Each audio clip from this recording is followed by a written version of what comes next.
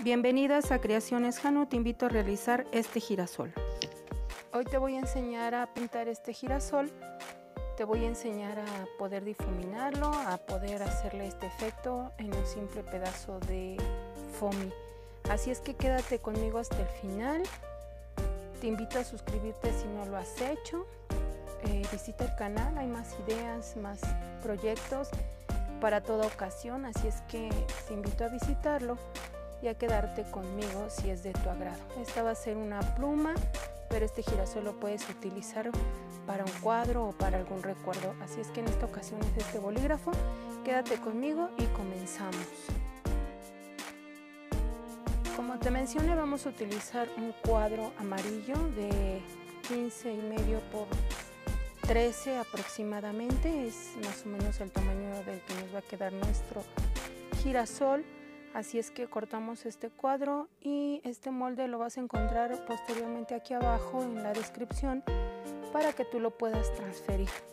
Entonces lo vamos a marcar de esta manera por todo el contorno para eh, posteriormente comenzar a difuminarlo. Así es que con mucha paciencia lo transfieres con un lápiz o con un bolígrafo de tinta amarilla para que no se ensucie tu proyecto. Vamos a trazar ahora lo que es eh, cada pétalo, le vamos a dar forma a nuestro girasol. Eh, le vamos a hacer las enervaduras que lleva dentro y en cada uno de los pétalos. Así es que igual de la misma manera puedes observar cómo eh, cada uno de los pétalos tiene un efecto diferente o una visión diferente. Así es que uno va hacia un lado, el otro hacia el otro esto pues para que se vea un poco más real al momento de que lo estamos pintando. Así es que observa cómo está el, girasol y posteriormente lo empezamos a pintar. Bueno, yo te voy a invitar a utilizar este tono de pintura, es terracota. Es esta marca de pintura. Eh, bueno, yo en realidad no utilizo una marca en específico, aunque esta que es americana es muy buena para difuminar en tela sobre todo. Pero bueno, puedes utilizar Politec o alguna otra que tú tengas en casa y que sea fácil de adquirir porque esta es un poco complicada de adquirirla. Entonces puedes utilizar la Politec que esa la venden en cualquier mercería o papelería y nos da el mismo efecto siempre y cuando tú puedas hacer estos trazos. Así es que vamos a colocar un poco de pintura en la punta del pincel. Es ligeramente porque la pintura pigmenta bastante, bastante bien Así es que vamos a dar primero por todo el contorno de nuestro girasol que ya previamente marcaste con un gis o con un lápiz o bien bolígrafo del tono naranja o, amarillo. Ahora que ya existen tantos tonos de bolígrafos de colores, puedes hacer este, echar mano de estos. Así es que lo colocas por todo el contorno, como te mencionaba y vamos dando una pequeña sombra al final de cada trazo. Esto se hace con el pincel húmedo. Entonces vamos dándole un poquito, un poquito y luego lo vamos así como barriendo. Y le vamos dando este efecto. Nos queda al principio un poco delineado y un poquito de sombra o difuminado en la parte interna del pétalo. Así es que no desesperes y hazlo con mucha paciencia. Pues mira, eh, de alguna manera esto ya va tomando un poco más de forma. Eh, hay un video, eh, un short que por ahí dejé, si tienes la habilidad de poder observar y desarrollar las manualidades, pues te invito a verlo. Mm, pero bien, para quienes aprendemos un poquito más lento, pues entonces te dejo este video, este tutorial es un poco el paso a paso y pues lo puedes ver tantas veces quieras. Recuerda que todas mis manualidades y todos los proyectos son completamente gratis, así es que pues te invito a, visitar el canal de Creaciones Hans. Y esto es como nos va quedando nuestro girasol. Ya queda esta sombra y este, y este delineado va tomando un poco más de, de forma, de color. Así es que pues te invito a realizarlo. Te invito a suscribirte, no lo olvides. Esta, esta técnica pues en realidad es muy, muy sencilla y muy básica. En realidad no tienes que ser profesional, solo puedes ver el video con detenimiento y lograr hacerlo. Así es que date un tiempo, atrévete a hacer tus propios proyectos. Y de esta manera, mira, va tomando forma. Esto que vamos a poner ahora es la parte del centro. Entonces con un pincel liner delgado vamos a marcar eh, estas pequeñas enervaduras que lleva el centro de nuestro girasol. También puedes hacer uno hacia adentro, uno hacia afuera, ir eh, jugando con los trazos de manera que a ti te guste cómo se ve tu proyecto.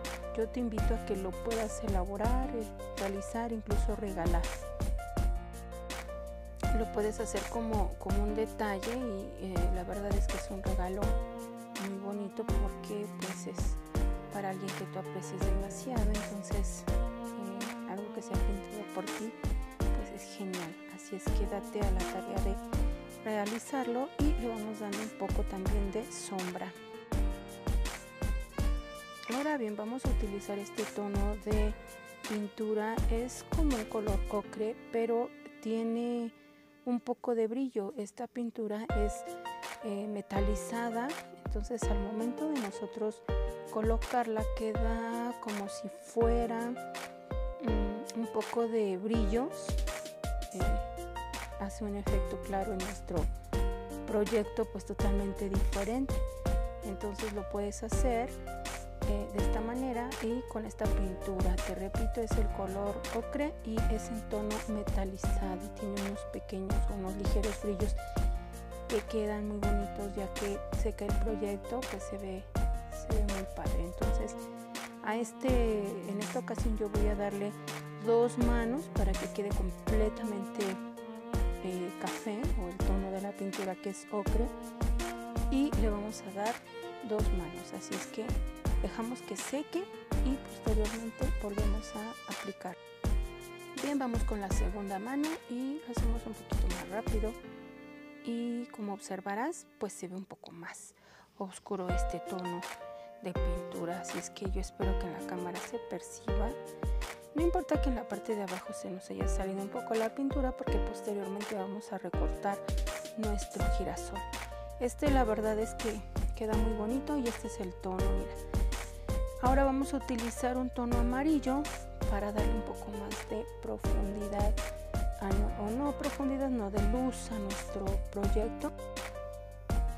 Estamos dando este pequeño tono de amarillo es un poquito más claro que el tono de foamy que utilizamos y esto como observas yo espero que se perciba en la cámara eh, pues le está dando un poco más de luz entonces esto también lo podemos hacer con un tono blanco pero esta vez yo decidí hacerlo con amarillo pero tú tomas también la elección de poder hacer tu proyecto como te agrade y le vamos dando mira amarillo y ya se nota la luz vamos a dar unos pequeños toques con tono blanco para que observes también cómo queda.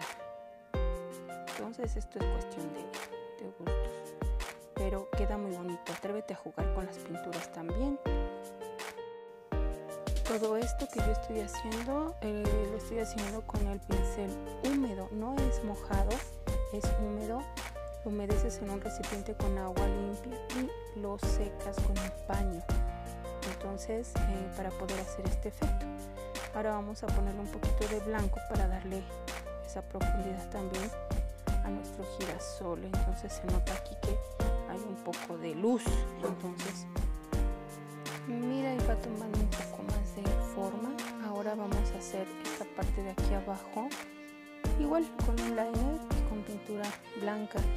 En realidad estos terminados puedes hacerlos también como a ti te agrade. En este caso yo le voy a poner esto blanco pues para que se note la división entre lo que pintamos en tono ocre y pues los pétalos de nuestro girasol. Así es que vamos dando este efecto. Quédate conmigo, no te desanimes en hacer tus proyectos. A veces pensamos que es complicado, pero no, vamos a recortar.